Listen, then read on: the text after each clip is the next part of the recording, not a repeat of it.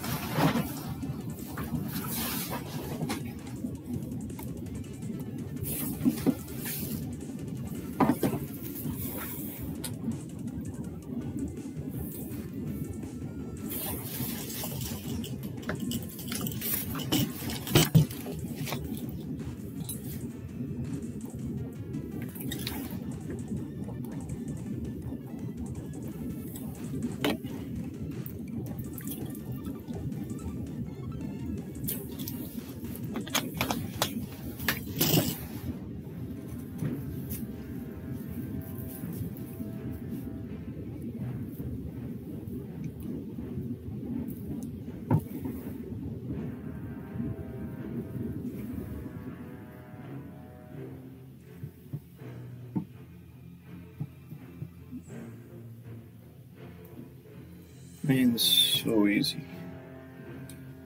Like, yeah, there's going to be a 30 page long one, which is number six, chapter six. Oh, crap. I might have to read that this week. Gosh dang it, man. Okay, we need to see how long it really is. So, 54. What? What? Okay, what on earth? What? What is all this stuff down here? I mean, I probably got to read some of it.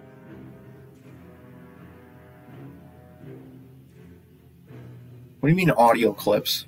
Do I need audio clips?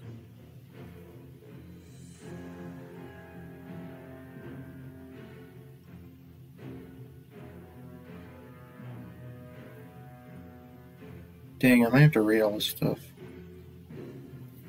So look at all this stuff, man. Look at all this. What is this? I'm, I'm gonna have to at least look at it. Anyways.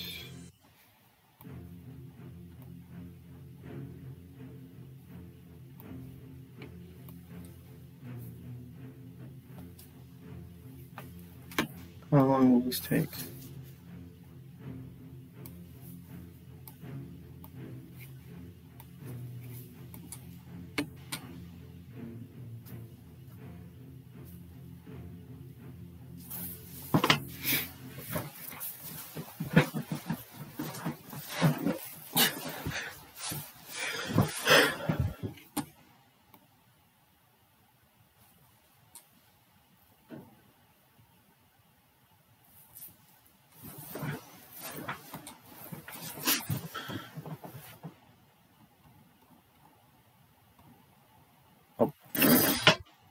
Wait a minute. This is long. Wait. 45 to 49. Okay, no, it's not. Why did I think that was long? Um, yeah. Um,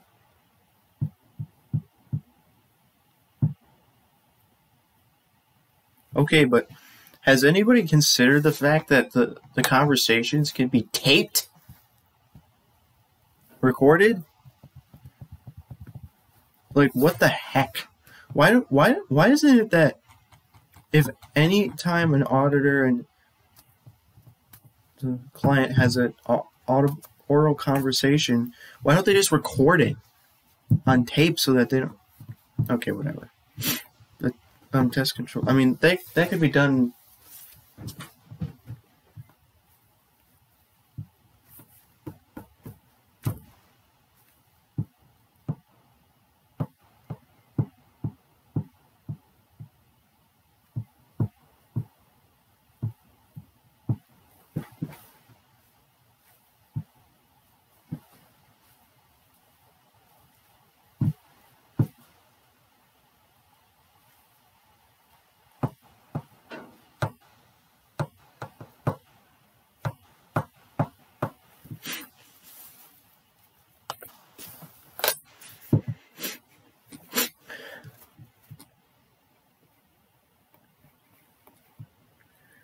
Carol Mitchell, supervising senior auditor with the CPA firm of Abernethy and Chapman, has been assigned to the Lakeside Company engagement.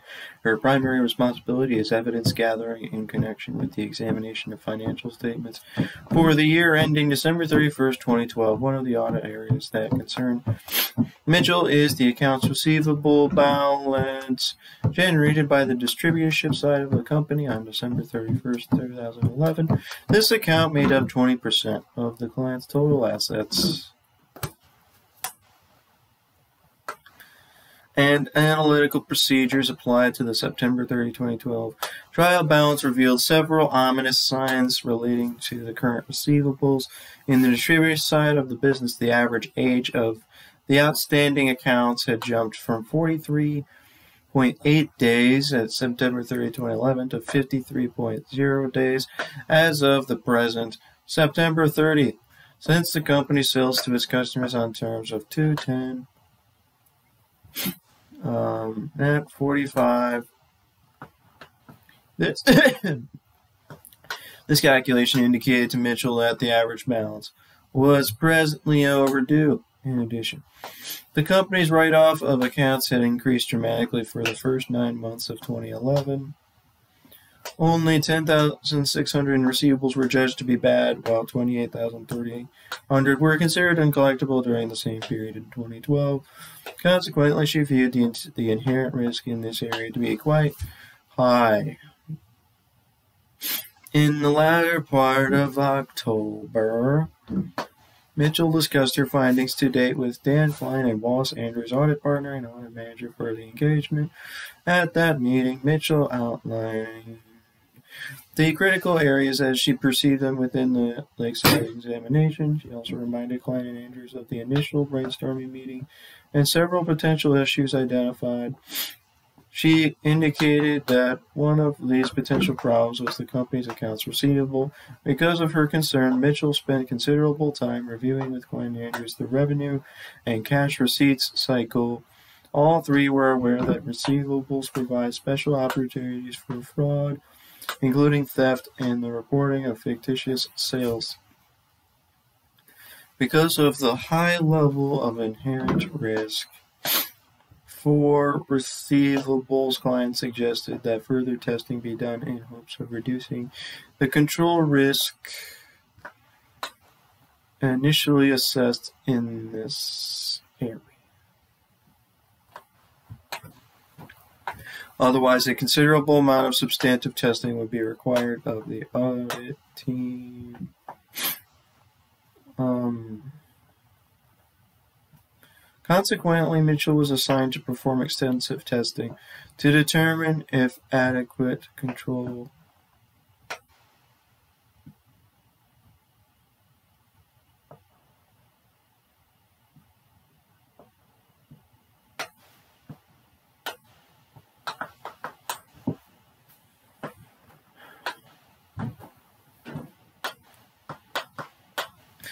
was assigned to perform extensive testing to determine if adequate control procedures and policies exist and are operating effectively.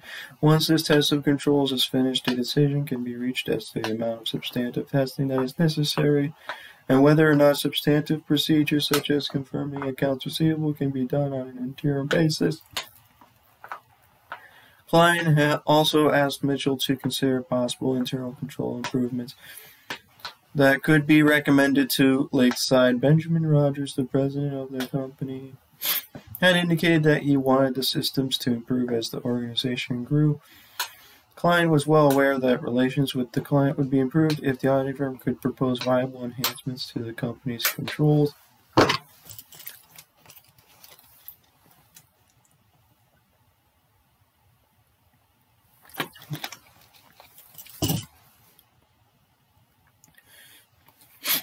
Finally, at the same meeting, the audit team decided that the existence of some of the accounts receivable balances could would be confirmed directly with the Lakeside customers. Andrews suggested that interim balances as of November 30th, 2012, instead of final balances as of December 31st, 2012, be confirmed unless severe internal control problems were encountered the decision as to whether confirmations should be positive or negative, along with the specific number of accounts to be confirmed, was left to Mitchell's judgment, subject to the approval of Klein and Andrews. Mitchell began her evaluation of internal control by identifying the control procedures incorporated within Lakeside's revenue and cash receipts cycle.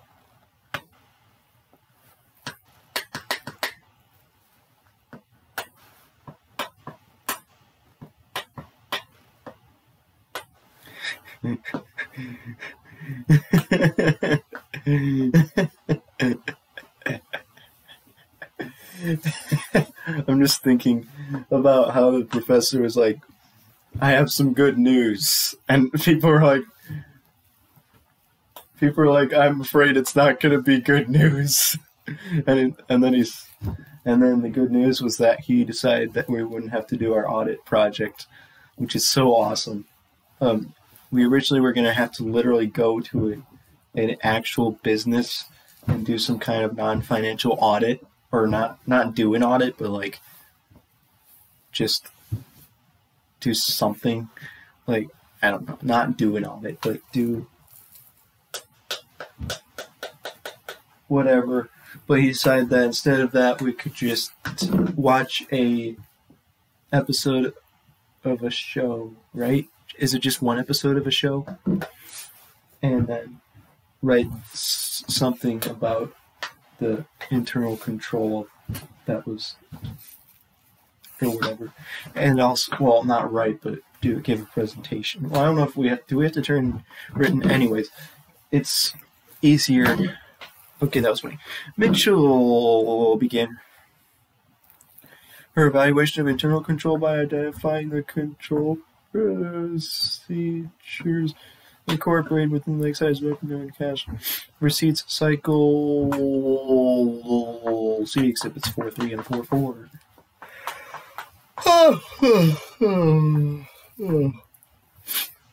These systems record both the increases and decreases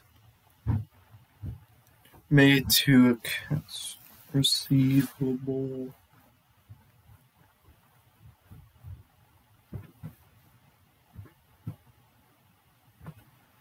In her opinion, a number of the procedures appear to be well designed for a company the size of Lakeside, but several problems do exist. For example, no separate credit and collection departments are maintained.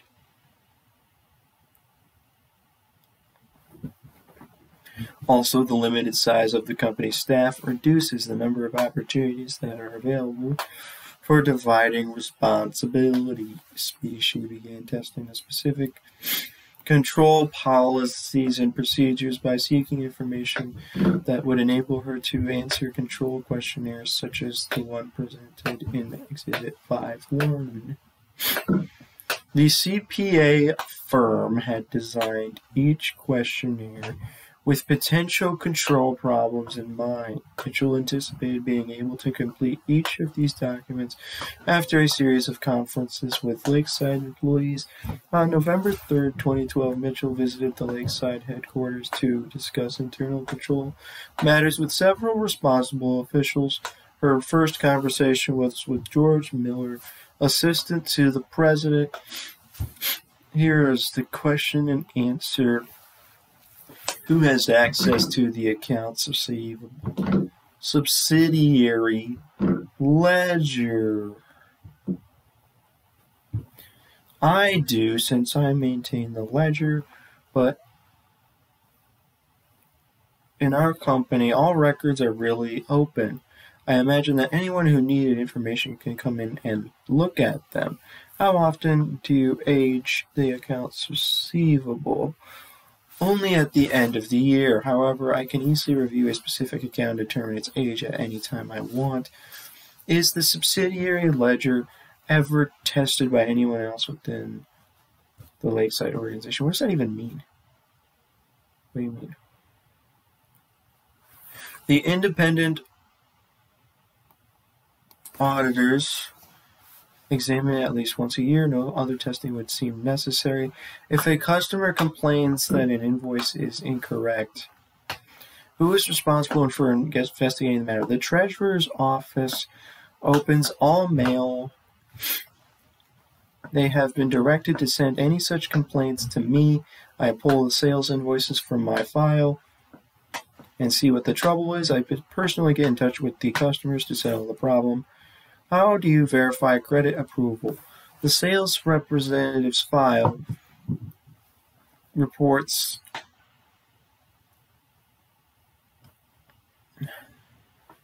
file reports providing credit data gathered about potential clients. Rogers reviews this information and sets a maximum credit figure if the account ever becomes overdue or if the customer exceeds this limit, further shipments are halted unless approval is made by Rogers. How often does uh, Rogers approve a sale to such customers? I really do not know. The invoice goes directly from Rogers to the sales division. How are the company's sales representatives paid? On a percentage commission based on their total sales. Is any subsequent review made of the, these credit reports? No. If payment is made, the company is considered a good credit risk. Any customer that does not pay is a bad risk. Sales have risen. Has Lakeside's credit policy been eased recently? Not really. The sales representatives are excellent. They have been building a good group of new customers. The average age of accounts receivable in the distributor side of the company has increased to over 53 days, which means that the average account is currently overdue. Why is that? The stores that sell Cypress products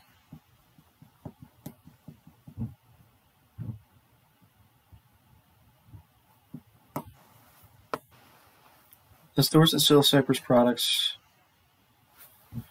are stocking up prior to Christmas. Sales are a little slow for them right now. So their payments are sometimes delayed.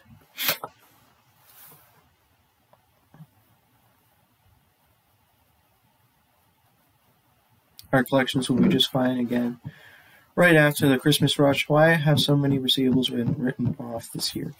I am not sure. We may have been holding on to some accounts in hopes of collecting. Of course, we are also selling more. We probably generate more bad debts. How do you determine bad debt expense? We estimate our uncollectible accounts at the end of each year based on 0.7% of net credit sales made by the distributorship. How did Lakeside arrive at 0.7%? I don't know. I think we have always used that figure.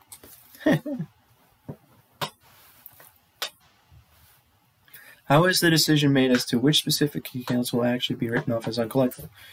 After 60 days without payment, the sales division pulls its copy of the sales invoice and rebills the customer. 30 days later, a third bill is mailed, and the sales division notifies me. I contact the sales representative, who then puts pressure on the customer. Con- subsequently, the sales representative reports directly to me concerning concerning possible payment. Based on this information, I make the decision as to whether the account is collectible unless an obvious problem exists. Then you don't even think about writing off balances until they are five or six months old.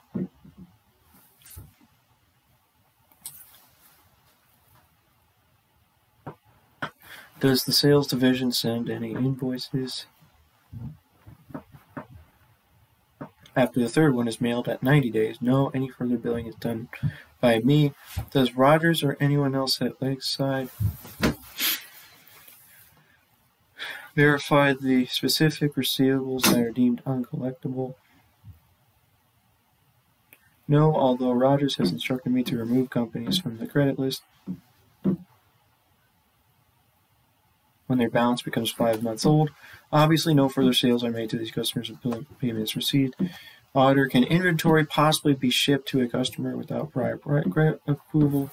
No, either Rogers or I must initial the sales invoice and return it to the sales division. Without those initials, the inventory department is not allowed to process the order. Does anyone verify that the invoices are correct as to prices, goods, extensions, etc.? The sales division rechecks quantities and descriptions. I verify the prices and extensions when I receive my copy of the sales invoice. Unfortunately, by the time I get around to extending and pricing, the invoices are already out to the customers. On several occasions, we have had to rebill a customer when I discovered an error.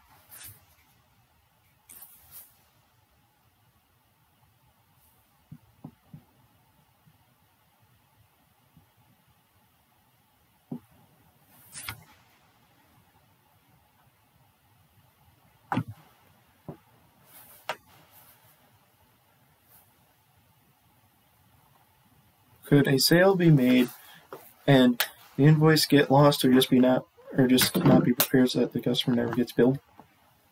Certainly hope not. Approved sales invoices are filed in the sales division.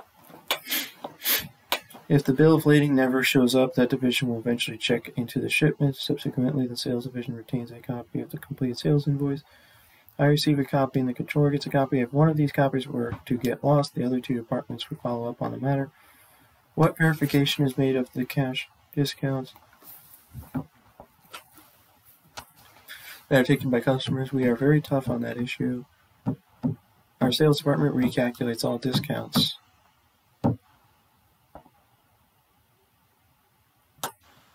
They allow credit only if deserved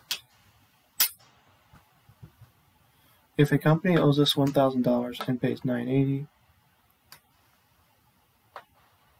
then $20 is still due unless the terms of the discount have been met.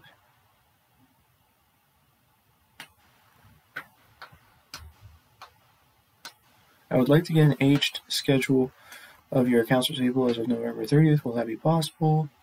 It is certainly inconvenient, but I imagine we can get that done. After talking with Miller, Carol Mitchell prepared a program to test transaction details.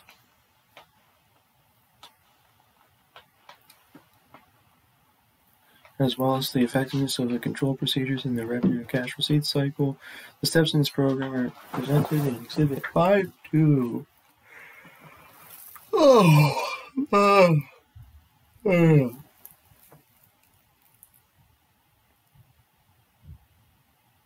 Man, I don't want to read all this.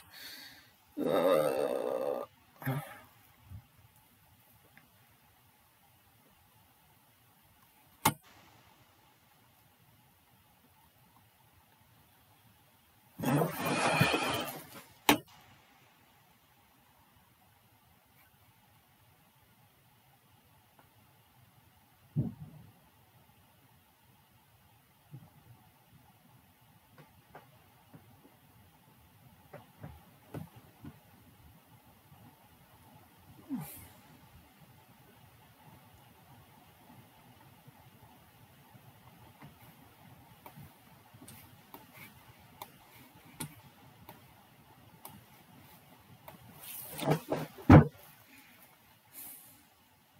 I could just go ahead and read chapter six. Nah. Just for.